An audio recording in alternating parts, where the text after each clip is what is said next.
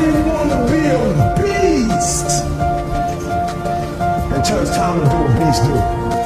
Everybody want to be a beast. Everybody got a lion, tattoos of lions. But when it's time to practice, you ain't on beast mode. Most of y'all think that a lion is who he is because of how ferocious he is when he catch that gazelle, when, when he catch that zebra. Can I be real with y'all? A part of being a beast just ain't eating a gazelle. A part of being a beast is the excited about. They like to see the gazelles run. Then boom, they take off. Because real lions like to hunt. They love the process, the process, just as much as they love the prize. And some of y'all just want to score. You don't like the process. You're not in love with the process.